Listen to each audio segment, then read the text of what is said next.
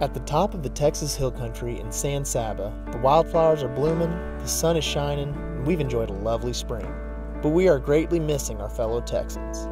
San Saba is known for its Texas sized hospitality, and we've loved getting to know many of you over the years, and we appreciate the support and embrace of our small town Texas charms. San Saba is a tight knit community, lovers of life, the outdoors, and our neighbors. We weren't built for isolation or staying inside. For now, we have to keep a safe distance, but San Saba is at its best when we are welcoming visitors, hosting travelers, and sharing all of the great things about small town Texas life.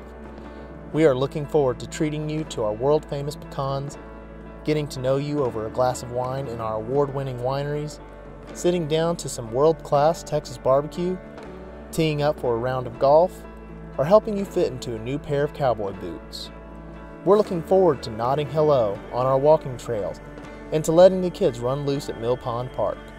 We're grateful to have all of this to look forward to when our community can welcome you with open hearts and open arms. Mostly, we're looking forward to sharing the best of San Saba with you.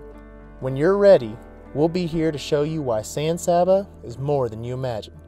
Until then, stay safe and stay blessed.